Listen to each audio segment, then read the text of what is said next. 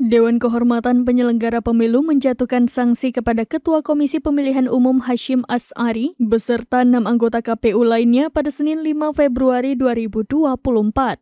Hashim As'ari dan anggota KPU dinilai melanggar kode etik setelah memproses pendaftaran Gibran Raka Buming Raka sebagai calon wakil presiden tanpa mengubah syarat usia minimum capres-cawapres pada peraturan KPU nomor 19 tahun 2023 sesuai putusan Mahkamah Konstitusi. Diketahui pada 25 Oktober 2023, KPU menerima berkas pendaftaran pencalonan Gibran.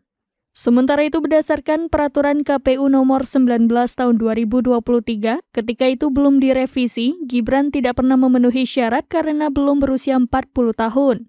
Para teradu dinilai melakukan pelanggaran kode etik dan pedoman perilaku penyelenggara pemilu. Hal itu dikatakan Ketua DKPP Republik Indonesia Hedi Lugito dalam ruang sidang di kantor DKPP Republik Indonesia Jakarta Pusat pada Senin 5 Februari 2024.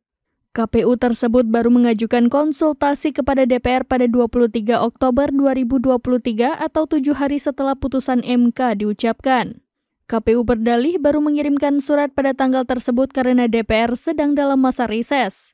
DKPP berpendapat dalih para teradu terbantahkan karena dalam masa reses dapat dilakukan rapat dengar pendapat sebagaimana diatur dalam pasal 254 ayat 4 dan ayat 7 Peraturan DPR nomor 1 tahun 2020 tentang tata tertib.